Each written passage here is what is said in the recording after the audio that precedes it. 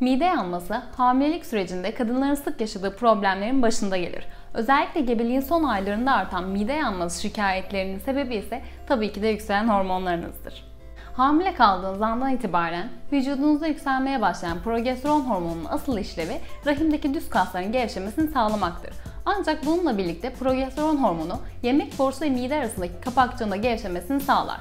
Bu da hamilelik döneminde mide yanması problemlerinizin artmasına neden olur. Hamileliğin ilk aylarında artmaya başlayan progesteron hormonu sayesinde gebeliğin ilk dönemlerinde mide yanması şikayetlerini hafif hafif hissedebilirsiniz. Ancak gebeliğin son aylarında büyüyen rahim midenize baskı yapar ve bu da mide yanması şikayetlerini daha şiddetli hissetmenize neden olabilir. Gebelikte mide yanması problemlerinin önüne geçebilmek için öncelikli olarak yapmanız gereken şey beslenmenizde bazı düzenlemelere gitmeniz gerektiğidir. Örneğin asitli içecekler, çikolata, acı ve baharatlı yiyeceklerden kesinlikle uzak durmalısınız.